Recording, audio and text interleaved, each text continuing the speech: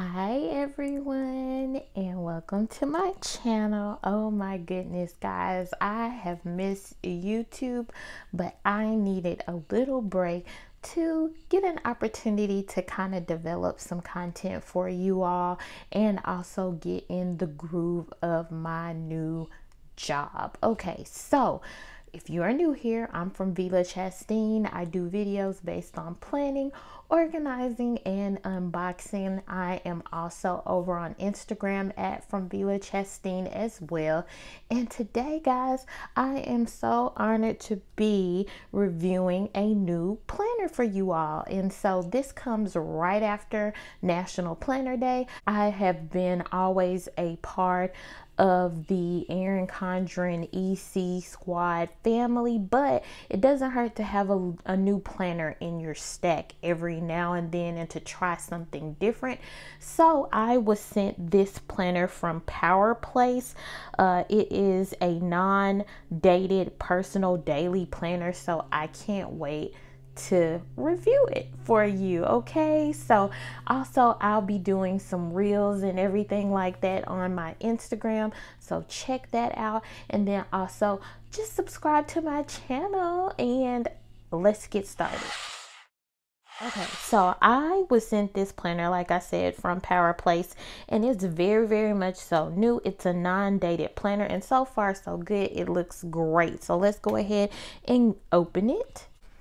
Okay, so I have it open here and it is the non dated personal daily planner.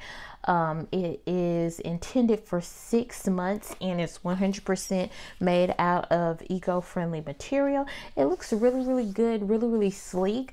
Off the top, I'm thinking that it would be great for a work planner since um, it's just real, real basic and sturdy. So let's take a look on the inside. Okay, so when you first open it up, it's just a blank page, and then it has the title on this page. It looks like it is a place for you to write your personal information and in case of an accident or emergency. And then this is neat right here. You have a mind map page and then a vision board. So I am definitely into this. Like, as far as my work planner, you can do like, I can do like a little mind map of where I want to go in the company, and then also uh, have a vision board for that. And then the next page is goals for the year. And then when you open up the next page, it says goals for the year, and it actually has it kind of like a guide for you for like January through December, physical goal, personal, family, etc. And then here we are. It's undated. So this is the monthly calendar page. And so you can start whenever you want. If you wanted to start now, let's just say August. If you wanted to start in April, whatever you want to do, it's a six month planner or you can just pick and choose. So I'm going to definitely have to test this out.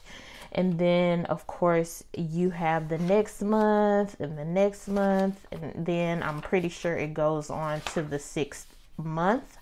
And then you go into your weekly uh, pages. And so you have like a last week review, like what happened last week. Like that this is a good section because sometimes I need to know if there is stuff that I didn't get to the week before. Could I actually do it this week? And then it has notes and ideas, and it's just like an empty space. And then you have your top priority for the week, your weekly plan, and then things to do to make this week great. And it looks like this goes on for every week.